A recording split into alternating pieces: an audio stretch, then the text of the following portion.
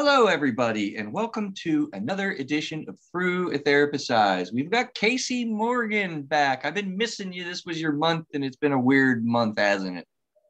It has been interesting, yeah, to say the least. So I apologize that I have not been able to fulfill my obligations and commitments, but I'm here today. And it's been an interesting day. We're on Zoom instead of our normal uh, office conversion to studio. So we have no Facebook Live this week, uh, and uh, but it's going to be cool. We we are as we do, making it work, moving it around. So with bear with us. Uh, the Zoom audio and video should be good. We'll have it on YouTube uh, channel. Uh, still have that book out, rediscovering emotions, re-understanding emotions, and becoming your best self. Wow, this is going to be an interesting this mm-hmm. through a therapist's eyes, the podcast where you get personal insights directly from therapists in your own home and in your car, but not to delivery therapy services in any way. Help us out with the five star reviews, Apple iTunes, writing things. I really appreciate you guys listening and being with us. We enjoy doing the show. We enjoy having you with us. Typically, we do a Facebook Live uh, that you can interact with us. We also have contact at through-a-therapist's-eyes.com. We love checking things out with you because this is Casey, the human emotional experience, and we do endeavor to figure this thing out together. Whoop, whoop. Yeah, we have an interesting current event, though. Uh, actually, before that, I told you I'm going to show you how bad of a person I am. I promised that before we turn the mics on. You, you ready, Casey? She was nervous. I made her nervous. Yep. Happy birthday to Oh, you're the sweetest. Uh, I, you know what? I am the sweetest, but in singing only, we have a cake. You can see. Aww. Right. You got me a cake? It, yes, we did. Aww. And and you'll see. Oh, it's it's it's not able to be shown. Let me move the plastic here. You can see that it is kind of been, you know, eaten without you. It's okay. Thank you so much. Thank you. Happy birthday. You can have some cake tomorrow. My personal favorite as well. One of them is red velvet. The other is is uh um uh what uh uh not cheesecake, but uh carrot, carrot cake. Yeah. I like that's my favorite. So I love that you have the favorite as uh, Red Velvet. DW set you up. I was gonna have Neil in the office, and we were like gonna be eating as we talked in the beginning here, celebrating your birthday. that's so kind. Thank you so much. you are welcome. Happy birthday. Thank you. So from that, we go to a current event that's just been nerve wracking to so many people in our nation and I think that we needed to comment about it, discuss it. We have actually an advantage or an interesting component, Casey, that I was really excited to talk to you about because you were embedded in the schools. You know, yes. you have, I would say, extensive experience in working directly with students in the schools as this horrible and tragic event in, I can't pronounce it correctly, please don't hold me to it, uh, Uvedale, Uv, Uvedale. Mm-hmm. What is it? Yep. You just yep. yep. yeah, over in Texas. Uh, it, it's it's interesting, you know, because I really kind of practice what I preached, and I have not been watching the news. And so I want to start out this current event by by really kind of helping people learn how do we deal with cable news networks in our lives how, do we deal with social media and tracking things as they happen? I'm going to really demonstrate the fact that I really don't know a whole lot of detail of what's going on because I've made the purposeful decision to not tune in and stay tuned in for an exorbitant amount of time as little details begin to come out. I saw when it happened. I checked it again a time or two. I know that I was going to have it as a current event because we needed to talk about it. But I tell you, we need to learn about how cable news networks and their 24 hour coverage just create anxiety and distress. And I'm not saying tune out and don't know what's going on. I know what happened, I, and I'm and I'm just disturbed by 19 students and two adults having been senselessly just killed. Um, I know a little bit about the shooter. I understand the conversations that people are having about gun control, some of the officials that have come out and and and talked on you know the, the talking points but i've really kind of purposely tuned out and i want to invite people to understand the balancing act in current events like this between know what's going on participate in the solutions but you can't be tripping yourself out with anxiety and distress and you, you still have to live. There's a there's a balance to be had. Does that make sense casey? Yeah, that makes complete sense because I think what what we also have to balance too is is how the media is infiltrating our lives because it's so directed and it's so sensationalized in a way that it actually takes away in my opinion from what actually happens in the human emotional experience to kind of relate back to the show when a tragedy strikes you know yeah. like we're not looking at this from the perspective of this is now a, a, community, a state, a world that has been impacted by this event. Instead, we've politicized it or we've made it about factors that, in, all honesty, if I'm that parent, if I'm the grandparent, if I'm a community member, I, I don't care what your politics are right now. Like, this right. is a situation where the human condition has to come together to to really wrap their arms around these families these like the the school and the students and how do we even finish out the year right, um, with this pending and so i just think that you know the media in a lot of ways blows this up and really takes it to a place to where we start to miss the mark on what is the human condition and what we need to do to take care of each other and what's interesting is i don't really even think that's intentional uh, some might differ with me. I, I think it's a function of how humanity deals with news now. And I think honestly, our first experience of that, and then I want to get to you being embedded in schools and some some experience that you have with that. But I think that humanity first really, really experienced this with 9-11 mm-hmm. in, in that 2001. So we've we've only had, I mean, if you think of all of humanity's experience with news and how news is done, it used to be just print news. You heard something a month later, right? You know, because Paul Revere was riding through the, the, the, the, cities trying to get, you know, immediate knowledge of something. You, you didn't have the way humanity has touch tones now.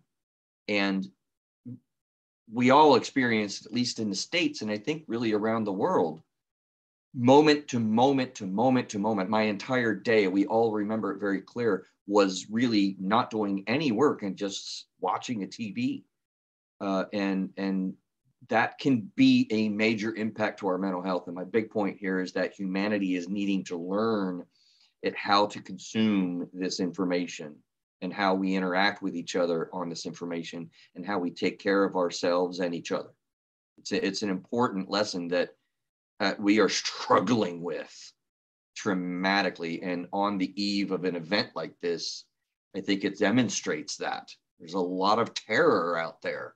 Dropping your kid off of school in Utah, you know, and that's because it, it, it does invade our emotional experience. It's a big deal. Yeah, it really is. And, and I think that it, it, and it doesn't just stop like in that immediate environment, you know, and because when we look at this even from a global perspective and people see you know what's going on in the united states when we look at the stats when we look at things that matter you know and we look at ourselves in comparison to other countries and other countries look at themselves in comparison to us you know what we see is just alarming like disparages in these events that happen here and not in other places and and that's not to make a political statement. That's literally just facts. And so I think when we're thinking through that, it it has an impact even globally on people to to figure out like, you know, what is going on and is it safe to come here? Is it not safe to come here? Uh, and then on a micro level in your own home, battling with, you know, uh, my my students, my my kids are having to you know participate in these lockdown drills, soft lockdown, hard lockdown. I was even doing supervision with one of my supervisees uh, three days ago, and they had a soft lockdown at their school because someone was walking around outside in a neighboring community with with potentially with a weapon. So I mean, it's it it just transcends, I think, all things when we think about it having an impact on a micro and a macro level. And it's just something that is senseless. It's terror filled. It is a tragedy. It is a trauma. And it can have a cumulative effect on the brain and the emotional system of the body um, moving forward. So I think if you're feeling feelings, if you're having residual thoughts and feelings um, about the events that have transpired or really anything around those events, please know that vicarious trauma is a real thing, secondary trauma is a real thing, compassion fatigue is a real thing. So if you're experiencing any symptoms that feel like you are not okay in this moment based on things that have occurred in our country and around our country, please know one, that you are not alone. And two, if you need to get help, reach out for sure. Good, good points. Uh, really valuable points. And I, I, it would be a, a, good transition to our show topic today because our show topic today is going to be human beings are so cool in the pain that we bear. That's the title that I have. And, and we're going to take a different track with that about what I even mean by the pain and all. But, but I think I want to camp out here just a, just a little bit more because it's interesting uh, in, in some of the things that you talked about. As I was, as you were talking, I did a quick Google search. And I think the perceptions get really skewed by a, a, a myopic view of what is going on. So around the world, this is a real experience. And it's also not new in, you know, mass events. Uh, I like to, Craig and I have talked about this in shows a couple, a year or two ago where we had lists of mass events that go way back. I mean, this is human behavior at its ugliest, but it's not new as much as people think that it is. It's also not specific to the United States. I heard you just say that, Casey, and I popped a Google search and I got this cool article. Neil, I probably ought to uh, give you the link or something so you can have it on our notes. It's from World Population Review, and they've got a map, mass shootings by country 2022, and you know Finland, France. There, there are a lot of representations here, Canada, of, of these types of events that have happened. Down the way, it has an average mean, so an annual death rate per million people from mass public shootings, right? US, Canada, and Europe. And this is from 2009 to 2015. Uh, the United States seems like we rank 11th, actually. Norway is first with a 1.888. Second is Serbia, 0.381. France is third, 0.347. Macedonia, Albania, Slovakia. Switzerland, of all places, surprised me. Comes in at seventh at 0.142. This is the annual death rate per million people. And then you have Finland, Belgium, Czech Republic, and then the United States at 0.089, followed by Austria, the Netherlands, Canada 0.032. My point here is in looking at this map and this data, this is a worldwide experience that is full of terror and trauma. And, you know, the Swiss have the emotional experience just as much as those in England and Germany. And oh, by the way, Russia comes in at number 17 at 0.012. So it, this is a worldwide human emotional experience that we're dealing with. So I really want to touch a little bit on Casey, your experience in the schools and working with kids. It, this is tough to predict. This is one of the devils of it. There's, we've talked about it before on Craig. We'll, we'll, we'll maybe hit this for a few minutes and then I want to get to our topic. But it's really, really, really difficult in a mental health screening to have a predictive component on who will and who will not act in a violent way. That's a statement I'm going to make.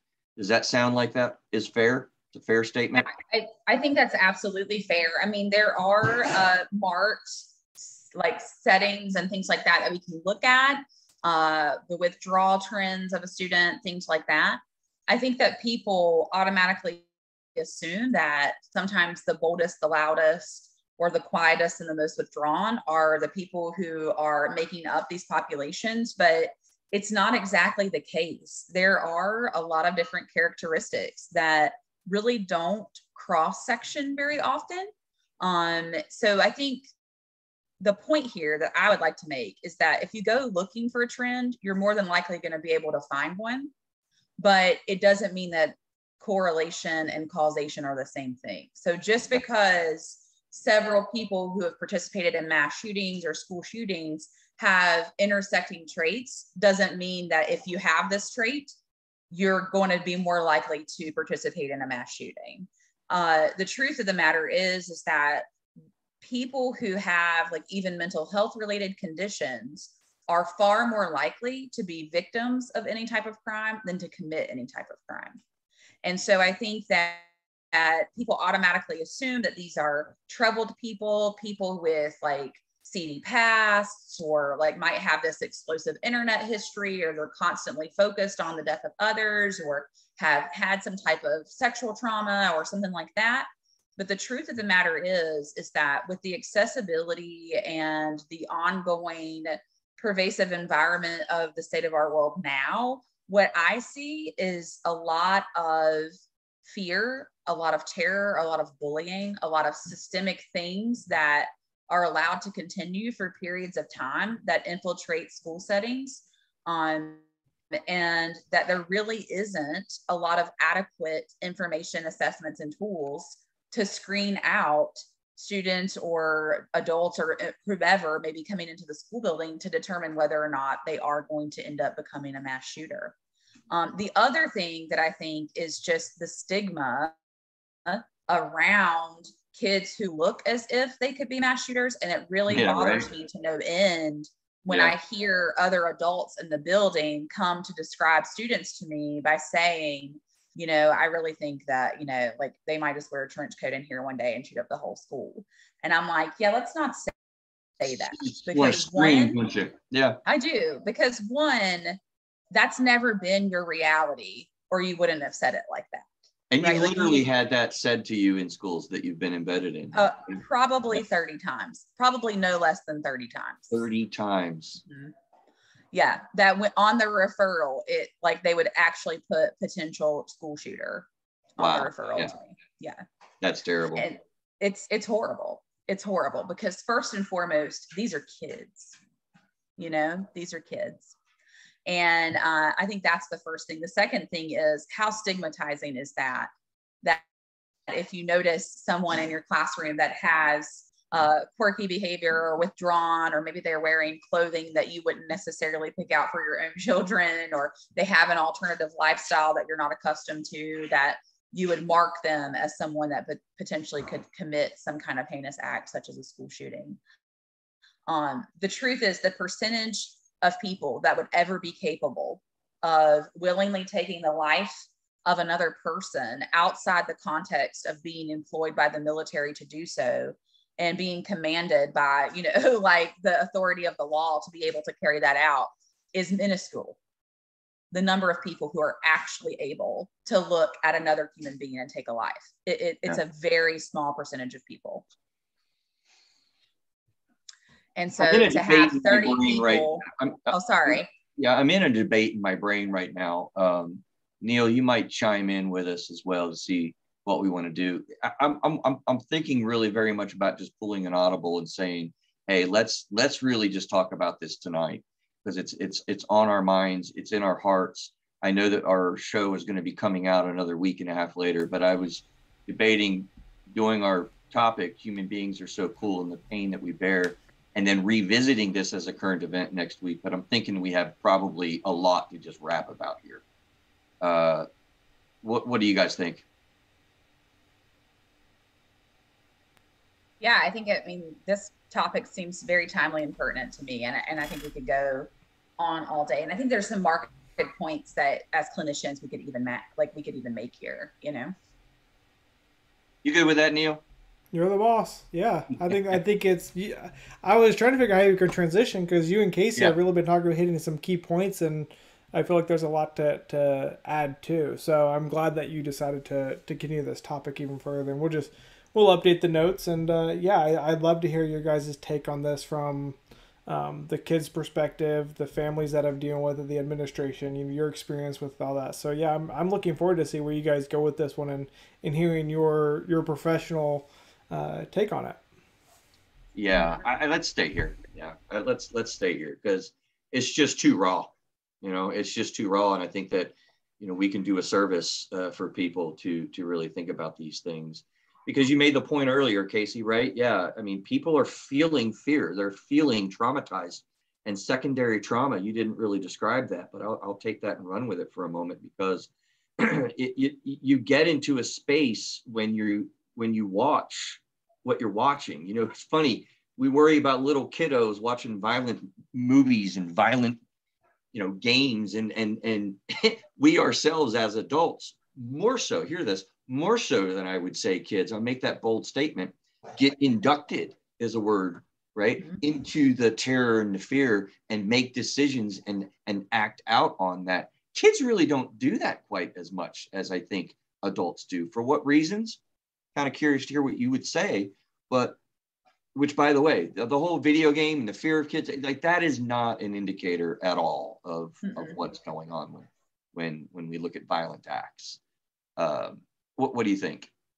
No, I I don't. I, I don't think that there is enough strong like there's not a strong enough correlation between those two things. Now, I do think that obsessions with violence can start at an early age if exposed too early to things like Grand Theft Auto and you're like six, you know, but what I have seen, and this is not this show, but could probably be another show, is that more often than not, kids that display what I would refer to as reactive behavior, which means emulating or mimicking what they've seen in video games, are far more likely to uh, have reactive behavior towards sexualized behaviors as opposed to violent behaviors. Now, sometimes that can lead to sexually violent behaviors, which is like, again, is a whole other show. But very rarely do I see the emulation of any type of, of random acts of violence or like an obsession with like weapons and things like that um, emulated play with things like Fortnite or other like um, games that might have, you know, first person shooter games, things like that. Um, I see it as pretty normative children like behavior. Same thing as if we played like cops and robbers or something of that nature. Um, I'm not seeing a lot of overt violent acts of children um, emulating what they see in video games at all and we've had that backed up by uh, Paul Weidman, who was on our show. That's a number. That's a name that's just coming at me by memory from a while ago. Can't even quote the number. Not going to worry about looking it up. But we've had professionals that specialize in that, and we've talked about that. Mm-hmm. Now, but what I'm saying and suggesting, and is a concern here with these types of realities, are the school officials or police officers themselves in the way that we try to you know, act preventatively destructively, which is violent acts and things. I've had clients that get caught into disciplinary, expulsionary, hardcore reactions to really simple things. Mm-hmm. And I find that I have to write letters or help school officials. You know, I had one school official really freak out when I simply used the word homicidal ideation. They were just like, whoa, let's, they went way backwards into like, oh, this freaks me out. And, and I have to, you see, we get inducted into fear and we get inducted into reactionary practices and make real hard decisions. My fear is very unnecessarily, kind of like you just said, when people have literally written on an assessment referral, potential school shooter, mm-hmm. get it, get, get screened, go see Casey. Like, what happens in in our minds is like wow. Wow. Yeah i mean and i think it's the most dangerous game to play that because the truth is is that we want to take every threat seriously right? Like we don't want to discount any potential threat. That that is for sure um, i think what we miss though is that we look at those who are the most boisterous about it who maybe have you know written stuff on the bathroom wall, written stuff on the mirror, things like that. And and those are like real and you know, those They're are things flags. that we we have to we have to investigate that. Yeah. But what we often overlook are kids that are uh, missing several days of school in a row are going through hard emotional times that are not being picked up by teachers because we're overworked, overconsumed with compassion fatigue, or experiencing a lot of burnout ourselves as the adults in the building. That we pay attention to those who have the biggest and the loudest behavior, and the ones that are kind of flying under the radar get missed. And and that's not anything against teachers. I was a teacher for six years. It's just that when when we're not noticing the nuances, the things that are outside of the norm, that's when we kind of lose focus on what might be clear and present. What we also see is this, this, like get this right. Oh, sorry, go ahead. So you were you were a teacher for six years prior to becoming yeah. a clinician, and then worked as an embedded clinician in the schools. That's what you're. I'm learning this now. Yeah. Oh, yeah. Sorry. Okay. Yeah. So I was a, a behavioral disorders teacher for six years, or what used to be called B, behavioral and emotional disorders. Yeah. Yeah. B, BED. BED. That's, yeah. Yeah. We all, we have our acronyms, don't we? So let's, let's talk for a minute, Casey, about threat assessments. Sure. Threat assessments are done in schools now, generally mm-hmm. pretty readily. And that's where I think we've made hopefully some of the improvements. So while being embedded into these schools, you've gotten these threat assessments done. Generally speaking, in the school systems around at least our state. I'd be really be curious around the world, but who who is involved in these threat assessments? Because it used to be a principal, a safety officer, and maybe an assistant principal that would be you know going to people's homes. I've I've had uh, I know of these events, and there was not a mental health professional involved in that. Can we say that we've made improvement in that so that that's no longer the case anymore? Or is that still a danger? Um, I, I, definitely think that I definitely think that that's still a danger that there's not a mental health clinician that's often involved in those things. What I will say has improved wow. is that here now recently, especially in like rural communities, we are seeing more and more opportunities for clinicians to be embedded into schools or at least having access to an immediate clinician to come to the school um, is is a potential for the majority of schools in rural areas. Um, urban areas, uh, inner city areas, they have usually their own processes for those things. But as of right now, even just in the state of North Carolina, I know that out of 100 counties, that there are many, probably 30, 40, 50 counties that do not have a mental health professional accessible to some of the schools uh, in their school system.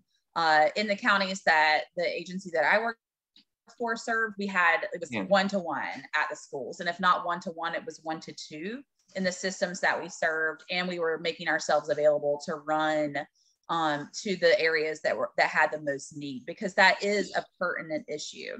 It's is that really we don't tough. go ahead. Yeah, this ahead, is, that's just really tough because you know one of the things that we have developing, I heard in in one of my briefer encounters listening to radio program about this. The expectations that we have on teachers uh, to to engage this issue like dang they're talking about doing more drills and having more responsibilities placed on teachers because they have their kids and they're with that adult.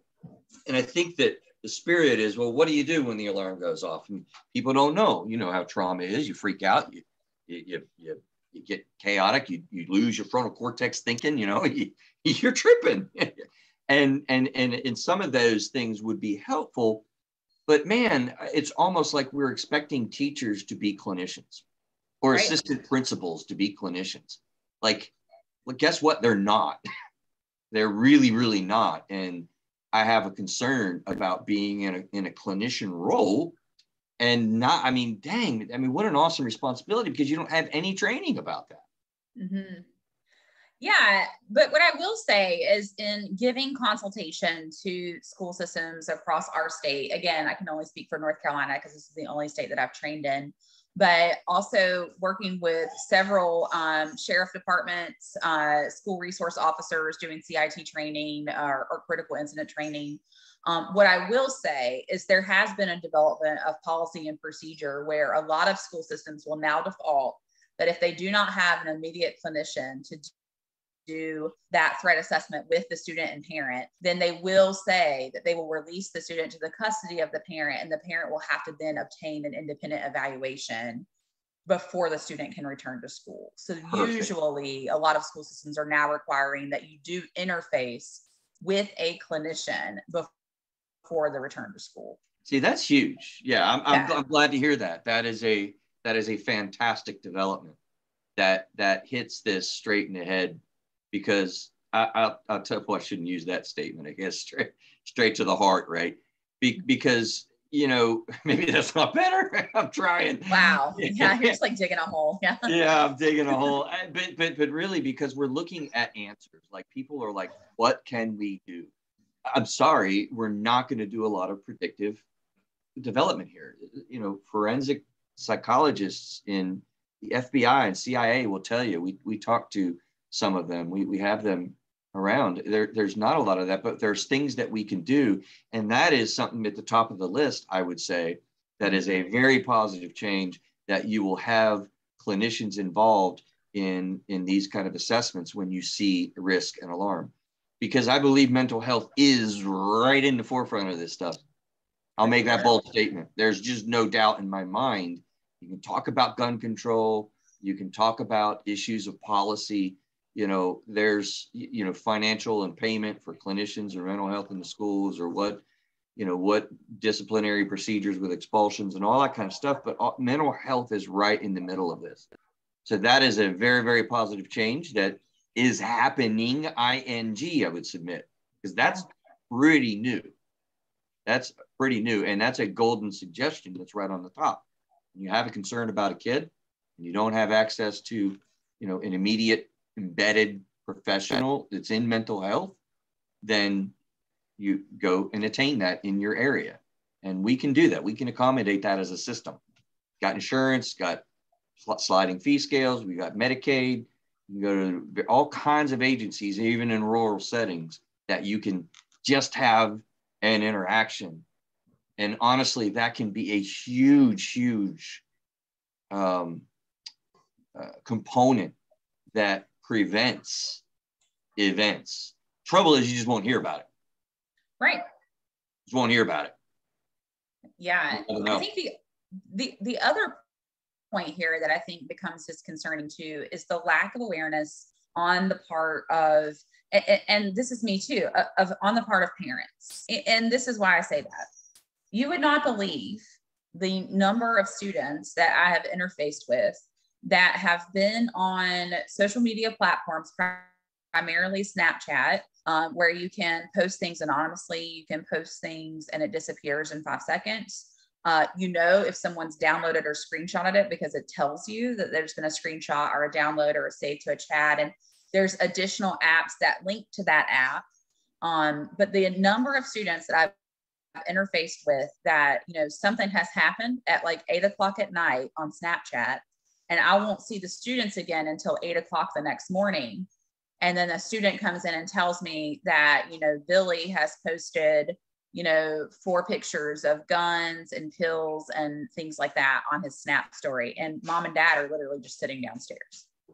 And right. so it, it's a whole thing where there's just a lack of awareness too. And it's not necessarily to say that parents aren't doing their job, it's just that we have to continually stay a step ahead or figure out how do we like interface with the applications on kids phones so that we have access to see you know like what's going on with them while balancing that with giving them privacy and confidentiality. And that is an ongoing thing that i do see and face as both a clinician and a parent to know or to be in the know as to what my my child actually does have access to and what are they telling other people that they may not be telling me because they can ha- be having dinner with me and literally be upstairs you know showing off their knife collection that i don't even know that they have um, and then taking them to school the next day go ahead yeah no absolutely i mean it, it it's and, and as I'm listening to you here, how about this, right? Like we get so fearful of technology. Uh, it, it is possible, I think, as humanity sort of wraps our arms around some of these issues, that technology can be a huge aid in identification of concern. I mean, mm-hmm. we don't think about things that way, but we probably need to begin shifting our thoughts around because guess what? Technology ain't going nowhere. You know, Elon Musk might buy it, you know, yeah. uh, but he it's not going to be terminated. And so, can we begin thinking about how best to interact with that? Because also, by the way, I'm going to school and I still have a life outside of school that you can't, you know, like uh, hold me accountable for things that I, I, it's not like I'm texting in English class these things or Snapchatting in English class. You know, we may, but not at eight o'clock at night. I see your facial expression. Yeah. Right. You know, so so it's it's such a part of our interaction. My my question is really more of a of an alarm to shift our minds to think about how can these technology pieces and apps and whatnot become an aid rather than demonized as just a complete destructive force. Yeah. Well, I think one thing is that, you know, it, the vast majority of kids that I have worked with, in all honesty, um, if they see something, they typically will say something. They are tired of, you know, people like one of the leading causes of death for latency age teenagers is suicide, you know, and so they're, they're tired of seeing seeing and hearing about people in our community dying. And so they really are taking an initiative teenagers today to report the things that they do know. Um, so i think that that is helpful. So i think that that teenagers really are leading the charge on this in using that technology and using the information that they have and the skills that they have to help prevent the unnecessary and untimely death of their friends um, so I do want to give nod to the latency age teenagers that I've worked with because I think that they're very committed to helping each other and really kind of understanding this as a collective experience.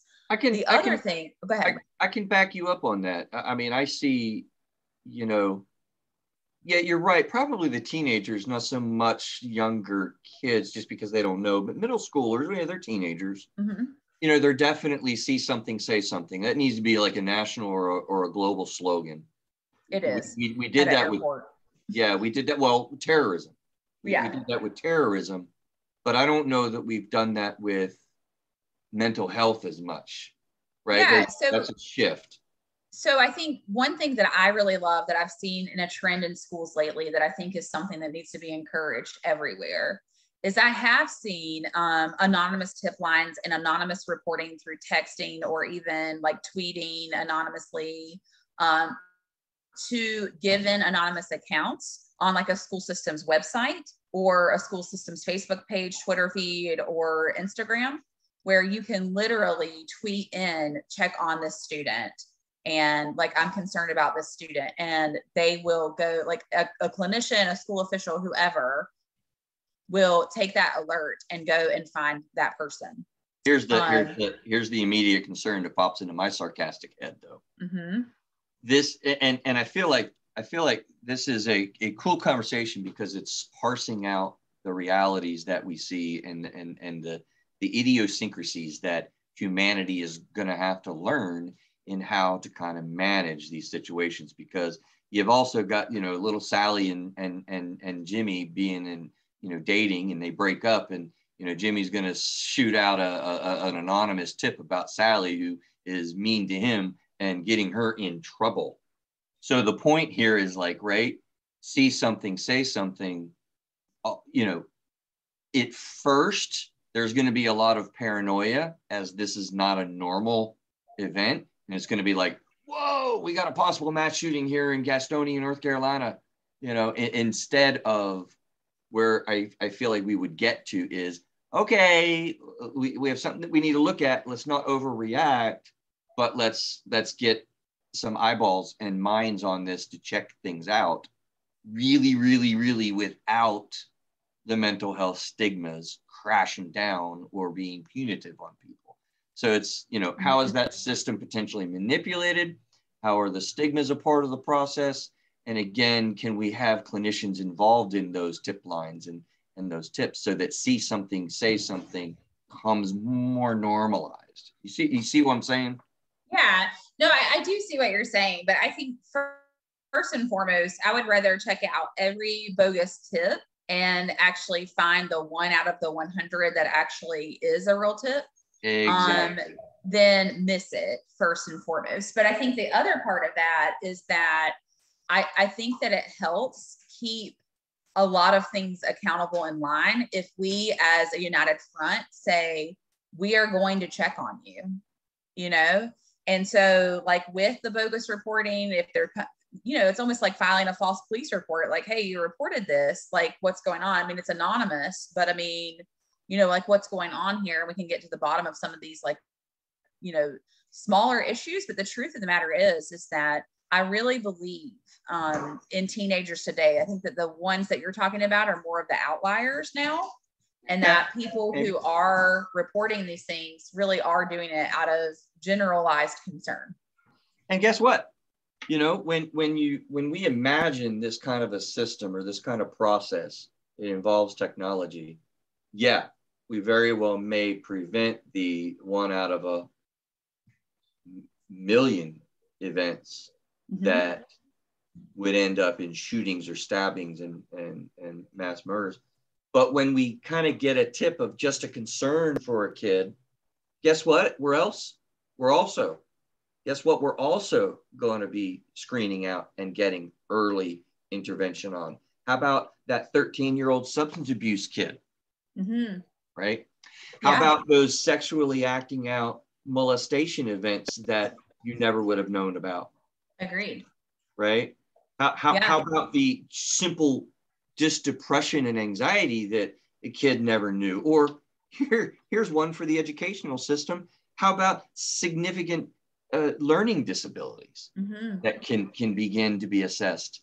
And of course, suicide. Yeah, like right, like when we're when we're interacting and touching when doing these assessments those things also so this this doesn't you know address you know two birds with one stone. It addresses like 10 birds right? Yeah. And i think you know earlier on when i was talking about looking at correlation and causation and how we're really quick as a cohesive country to say oh this kid had autism or this kid had a mental health problem or this kid did this or this mass shooter did this. And and we're trying to connect dots because we want to make sense out of senseless acts and we really can't because in all honesty the human condition is not to murder out of anything other than self-preservation you know like when we look over time people who have actually committed murder or have killed another person it typically typically is for self preservation. These senseless random acts of violence, one, are not always random, which is what we know, but two, are senseless, which means we can't make sense of it. So trying to do that is really hard. But what I can tell you as a betting person, and this is going to be a bold statement, this is not scientifically factual, but what I want to say right now is a bold statement as a clinician especially when it comes to working with teenagers, which I've done my whole entire career, and working with uh, latency age adolescents and knowing their trauma sets. What I will tell you is that one thing I bet I could 100% pinpoint to all of these cases is the lack of an essential connection with at least one significant adult in these kids' life. Right. And that is what I would say is the bold statement that the majority of these students who commit these senseless acts do not have an essential connection, a, a meaningful and essential connection with an active adult in their life who either A, does not need or demand something from them, that it's not transactional, that it's actually an essential connection with an adult who unconditionally cares about that kid. And, and I can tell you with almost 100% certainty that that is probably true in each of those people's lives. Yeah, I've seen that. I, I, I, can, I think I could back you up in that in a sense too. You know, and that's not just mommy and daddy. That that is no. a, a a important figure that creates a an ability to reason through the pain that you're in. You know, t- tune in next week because we are going to talk about that. Human beings are so quote unquote cool in the pain that we bear. That's what we're going to be doing next week. Yeah. Because the way that we try to present ourselves, the way that we try to, you know, we deal with vanity. So there's going to be some cool things that we talk about with that be, be, because we really do try to, sh- you know, shield ourselves from being exposed with the hurt that we have. But when you have that essential connection that you speak of, you know, you have an outlet, you have a validator, you, you've got a thinker, a rational thinker. And when you're a kid, particularly a teenager, you literally don't even have the brain processing to, to do that. Uh, I can't imagine life without that. Can you imagine the, the the the fear that you would have? The right. I mean, gosh, the whole world just looks like a scary place that's against me. And now I've been bullied or I've been harm, harmed or I'm struggling with with school. I'm struggling with different things that are going on in my life. And I'm like, wow, I don't have any backup. I don't have any any support. So yeah, we need somebody. Wave to her. we've we've got a we've yeah. got an inner this is the world we live in with Zoom, right? That's right. Yeah, sorry about that. That's cool. but yeah, but it is the world that we live in. And, and I think that to me, as adults, if if you're an adult listening to this podcast, you know, and, and I know that, that this is kind of a cliche statement, but when it comes to kids, when it comes to your adult children, when it comes to other kids you know in the community, uh, and I've heard this used time and time again, but be the adult that you needed when you were growing up.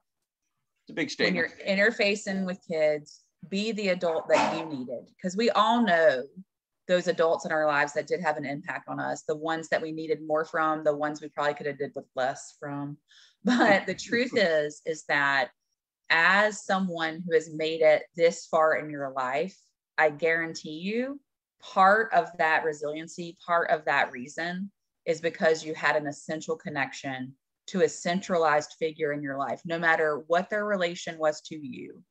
There was someone in your life where it was not a transactional relationship, meaning you didn't have to give something to get something, but that you a- you were able to have an essential connection with a meaningful adult that had an impact on your life, and that is part of the reason why you are where you are today and how you are where you are today. You know, it just occurs to me, Casey. You know, we're talking about this and and wrestling a little bit with it. I, I'm curious how you would see it working with these kids in the schools, because you know what I don't hear a whole lot. And please, I'm a teacher supporter. I, I really, uh, they're overwhelmed and overrun, and the pandemic has made it exponentially triple digit times worse. But you know what I don't think I hear as much are kids that are saying, wow, you know, that teacher, I had this influence from this teacher on this year at this class. I, mm. I that's almost like gone because I can cite two or three of them that I really had. And I, I wonder if we've just inundated the systems full of all this stuff and, you know, we're, we're kind of limiting and minimizing just that human touch and human relation.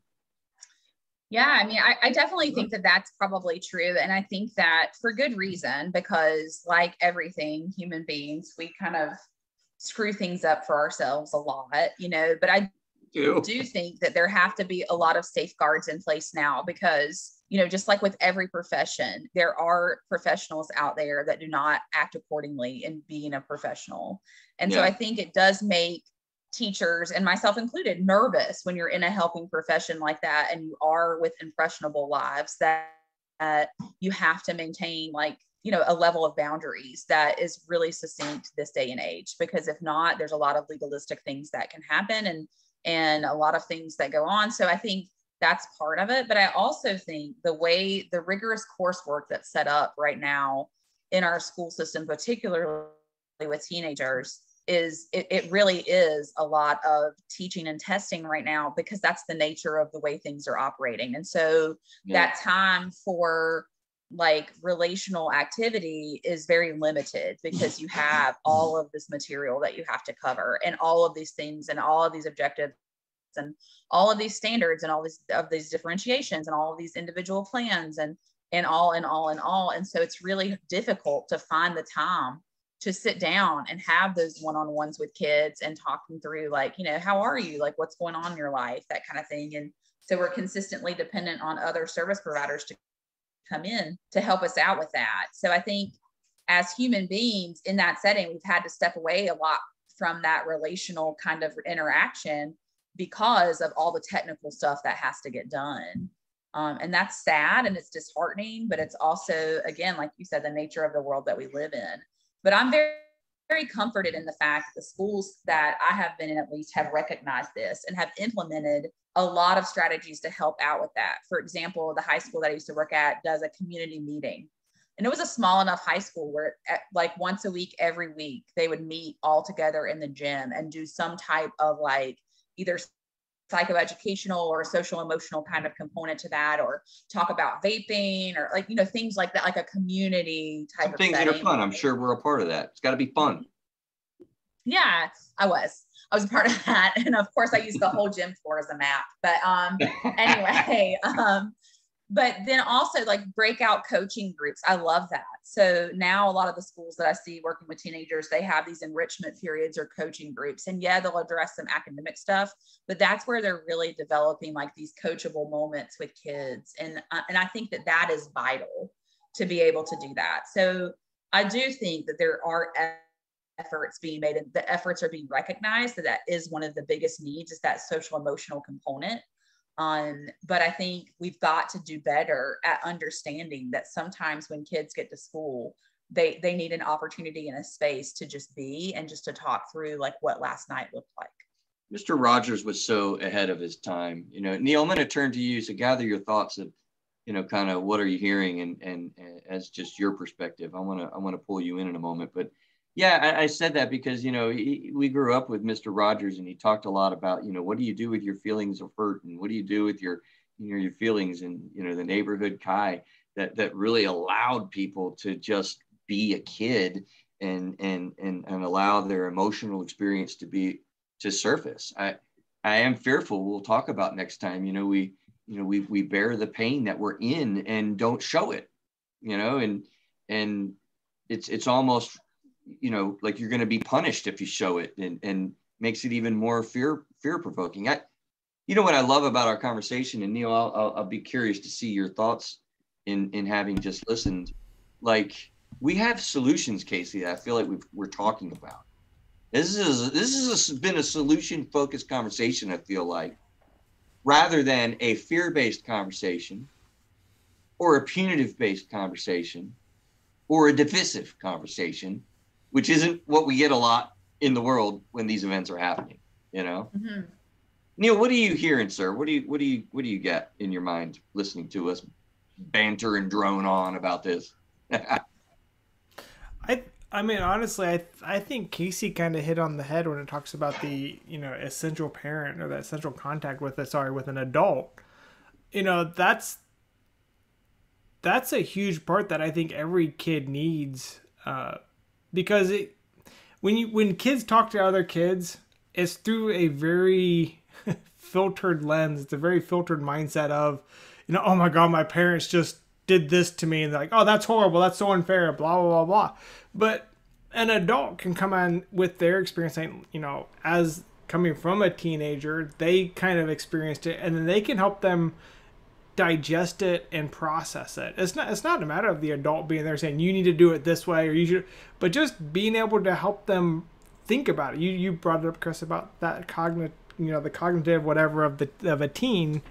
They just don't understand those processes. And so just having that as an adult whether it's a teacher you know i'm thinking about my kid. His he mason loves his band teacher. You know he's he's going to be there for four years. It's probably the most influential teacher he's going to have because it is four years. He's going to spend more time with his, his teacher during high school than he is with us yeah. just because of marching band, all this other stuff. And I think they're still there. And I think. Mm-hmm. Good. I, th- I think teachers do play a bigger part in kids' lives than they tell us. that's one of those things like as a senior speech or 10 years after they're like oh i remember this this teacher and yeah you're an adult you think about those teachers you remember but as when you were in high school did you really think about oh this is my favorite teacher and he really helped me become the person i am? Usually it's two three four years down the road. And i think, I think so. And, yeah that and, makes sense that's a good thought. That's that's that's hopefulness i think you know? I mean i of course, I'm a weird thinker. When I was that age, I, I was very aware that and one of them was my band instructor, you know, and I think people have ROTC, you know, uh, connections and, and people have their, uh, boy, coaching coaches, right? Like your athletic coaching, your cheerleading moms, you know, there's, there's interactions and people around, you know, I, I guess that I have a lot of hopefulness about getting through the pandemic and having those things kind of reignite because I think mm-hmm. they've really been lacking just something terrible over through the pandemic.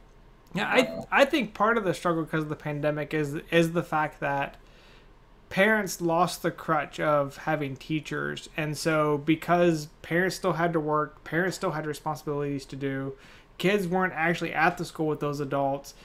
It was a hard shift for an entire household, and so I think that's part of the struggle because during those these last two years a lot of the kids probably didn't have that essential contact with an adult because they were no longer going to school and really getting involved with their teachers. And so that's where a lot of that stuff kind of starts dropping. You know, a lot of those, you know, you see the anxiety, depression, those statistics are going up because they don't have that. So going back to Casey's statement, when you lose that, when you have that that teacher that can help you and process and see those types of things, you lose that. Your parents are going into work, you know, they're not there for you really during the day. Stress level what was that? Uh, Do we have an event, Casey? I don't know. That wasn't me. Uh, was that you, Neil? That was me. There's a tornado warning in the area. oh wow! Where do you live? I live just around Chris. He lives right next to where I'm at. Sorry. Bye. but yeah, I know, right? If, if, if, this if this program uh, abruptly ends, please pray for your Through a Therapist's Eyes, uh, you know, people. Uh, I, I like that though. We can interject a little bit of humor into this this whole deal and and be like, you know, look, I mean I guess I will start taxing in for a landing, guys, because there. This is this is a very terrifying event. It's it's horrible to think about kids dying, and we. That's why I like our conversation that invokes a little bit of hope and invokes some ideas and some things that, as as a people, as a humanity, we're wrapping our arms around to kind of have some things be addressed. I, I I don't get into the doom and gloom, and maybe that's because I haven't been watching a lot of the news. Right? i I'm I'm coming at this fresh and objective, and not in a state of terror about it. And hopefully, in the next weeks and months, as we continue to develop, you know, good agencies like you came from, Casey, can continue, you know, really good work to make progress with some of these some of these ideas. Yeah, I, I definitely agree. I think that you know there we have to start coming towards in my opinion more of a middle ground to talk to tackle these harder and deeper emotional issues that come along with losing people in senseless and violent acts. Um, we, we really have to look at dropping some of our own weapons of polarized politics to be able to come together and say our children are hurting you know, and, and whether it's mental health, whether it's abuse, like whatever the case may be, these are not happening in isolated ways where we right. can't make sense of where some of this comes from. But I think what we're looking at are things that are and putting value on things that aren't nearly as important as those root cause issues. And I think that's where we have to start looking. Like, um, uh, Desmond Tutu said, uh, instead of pulling people out of the river, we have to go and look at where they're getting in the river and figure out why. And, yeah. and that to me is quintessentially my point in all of this. Like, we can't just look at the problem after it's happened and say, oh, this is what it needs to happen, you know, whether it's it's guns or this or training or t-shirt like we have to look at the people who committed these acts and back up to how did they get into this river? Yeah. Not just pull them out. Like, how did they get there? And then start from there. You know, this is an, an intertwinement of years of systemic, like whether it's oppression, abuse, mental health, substance abuse, uh, bullying, things like that. Like, what is going on? And, and once honestly, we get a pulse on that, I think yeah. then we'll start to see some real change. And honestly, I think that goes back uh, again a lot further than just the last 50 years. Oh yeah. This this is part of what you know, we're more sophisticated now. We never really knew how to even have the conversation in 1828. Yeah. You know, we, we really didn't. And so I, I have a lot of hope that we have a lot more knowledge as a as as a group of human beings about emotions and neurotransmitters, about you know different disorders and processes that go on, you know, and and we never even had that before. So I, you know, I, I know that the the dramatic mass events are increasing in in, in some ways, uh, but so is our knowledge and our knowledge base, and and so I'm I'm hopeful and and thoughtful about, as you just said, pulling together, mm-hmm. not out of fear, not out of punitive, not out of stigma, not out of, you know, racial, but just out of an understanding and and a connectedness from a human spirit. Yeah, for sure. Yeah. For sure. So let's wrap this up. I think uh, closing thoughts or comments. I mean, mine will be, you know, it's funny I had a conversation with my brother not too long. You know, these things happen, and everyone's like, "Oh, thoughts and prayers, thoughts and prayers, thoughts and prayers." It's like, well, yeah, you know, thoughts and prayers to people. I mean, my heart goes out to people that are experiencing trauma in their lives. Losing a child is just on a horrible event. You know, the the pain that we have. I, I, I wish we can make it better instantly. We can't, but I think we can be together so that people aren't feeling alone, and that's that's part of what we try to do with this show blowing up stereotypes and myths disseminating information so that we can really be in alignment just on a humanistic in a humanistic way. Yeah I, I definitely agree with that you know and and i think we did a show on well not i think we did i did a show with you about toxic positivity and i just want to say like this is not the time for you know, blasting people's feeds with like, you know, all this toxicity of like a positive future and things like that. People are really hurting and people are suffering due to these events. And yeah. I, I just want to say that, you know, I cannot begin to imagine the immense and the and the gravity of the the feelings that are happening um, across the community with the families and, and beyond. And so my hope for the future is that this never would happen again. Um, I think that that's a that's probably a fallacy and something that you know mm-hmm. uh, probably will continue for decades and decades beyond. And it doesn't take away from what happened this week, but but I do think that right now the best thing to do is just tell the people that you love that you love them, um, because you don't know what the future is and you don't have control over that but what you can have control over is what you do with what you've learned and moving forward from there. And so my hope would be that tonight you learned something about yourself you've learned something about you know what to do for kids you may have in your life or or the adult children of your life. And uh, even if it means reaching out to the person that had an impact on you and letting them know hey listen you are you know you're you important. are that person for me. Yeah, and you're important. Um, because every person at their essential core is a person, no matter what they do.